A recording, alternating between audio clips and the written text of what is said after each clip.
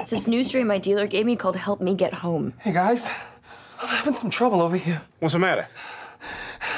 Can you help me get home? Ted, you could have been special.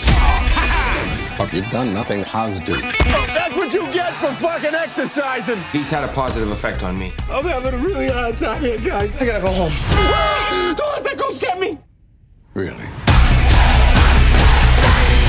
Oh! Oh my God! Oh Who did that? Oh. Jesus Christ. Sir, I apologize for my five-year-old child. Bad Butch, you sit there and eat your fish nuggets. Okay, you ready? Thunder Buddies for life. The perfect spiral.